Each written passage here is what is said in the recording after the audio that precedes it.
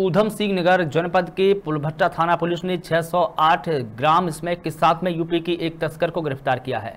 तस्कर बरेली से स्मैक लाकर जनपद में सप्लाई किया करता था। बरामद की गई। स्मैक की कीमत अंतर्राष्ट्रीय बाज़ार में तकरीबन 60 लाख रुपए की बताई जा रही है। वहीं एसएसपी मंजूनाथ टीसवी ने मामले का खुलासा करते हुए कहा कि पुलवट्टा थाना पुलिस बॉर्डर क्षेत्र के ग्राम अंजनियान भूमिया देवता मंदिर के पास में चेकिंग अभियान चला रही थी। तभी उत्तर प्रदेश नबरडाडी की ओर से आ रहे मोटरसाइकिल को रोकने का इशारा किया गया। तो बाइक सवार मोटर मोड़कर बाइक मोड़ करके भागने लगा।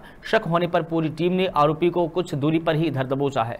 तलाशी के दौरान आरोपी से 608 ग्राम स्मैक बरामद की गई है। रुद्रपुर से मुकेश मंडल की रिपोर्ट।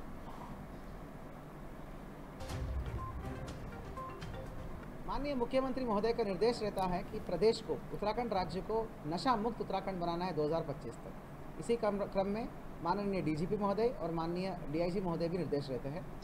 तो कल पुलबट्टा थाना पुलिस द्वारा बेहतरीन सफलता हासिल हुआ है। कल दीपावली परिप्रेक्ष्य में बॉर्डरों को सील करके विभिन्न जगहों पर पिकेट लगाकर सघन चेकिंग किया जा रहा था। पुलबट्टा पुलिस द्वारा सघन चेकिंग के दौरान तो उनको एक बेहतरीन सफलता हासिल हुई है। थानाध्यक्ष पुलबट्टा कमलेश भट्ट और उसकी टीम एसआई पंकज और हमारा हेड कांस्टेबल धर्मवीर चेकिंग जब कर रहे थे उनको एक बाइक वाला संदिग्ध रूप से भागता हुआ दिखा जिसको तत्काल रोका गया।